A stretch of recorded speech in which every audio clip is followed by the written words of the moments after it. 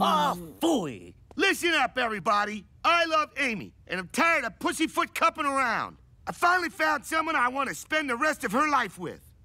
Amy? Will you marry me? Yes! Yes! Oh, I'm just glad I didn't live to see this day. Eh, wait a second. No!